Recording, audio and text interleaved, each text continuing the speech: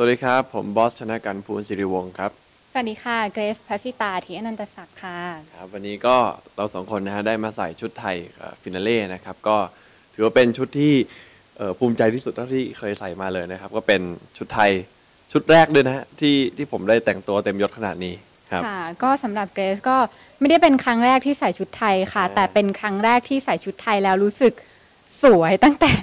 ข้างบนลงไปข้างล่างยันรองเท้าเลยค่ะ รู้สึกว่าอูรู้สึกว่าวันนี้แบบว่า ดูเป็นผู้ดีมากเลยคุนี่ณเมื่บออกี้สเห็นเห็นยืนอยู่หน้ากระจกโอ้โหเขาส่องใหญ่เขาเรียกว่าเขาเรียกว่าอะไรอะเขาโอ้โหปานี่ตั้งแต่หัวจรดเท้าจริงๆเขาเย็บตามตัวใช่ไหม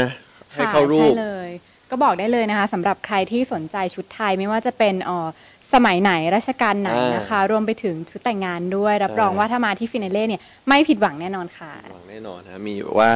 ชุดแต่งงานแบบว่าเป็นสูตรปกติแล้วก็นี่ฮะแบบชุดไทยของผมนะ ถ้าผมหล่อแต่งงานถ้าผมแต่งงานนะแน่นอน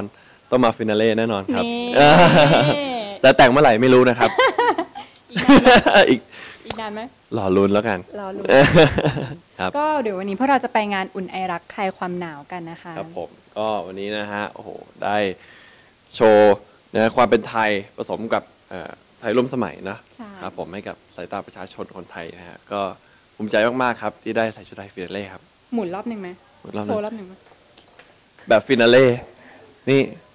นี่ครับผม เลย วันนี้ก็นี่ฮะอะไรโชว์โชว์อะไรฮะนี่โชว์สไบนิดนึงโอ้โห อิจฉาไหม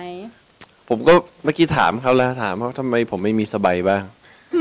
เออผมไม่อยากอยากได้อะไรอยากจะมีห้อยๆบ้างบ้างใช่ นี่ก็นะอยากจะใส่สูตรบ้างนะเออโอ้โหครั้งนี่หน้าเรามาเอาไหมไม่เอาไม่สเอาลับกันโอ้โหนี่พอใส่ชุดนี้เสร็จปุ๊บเราเดิน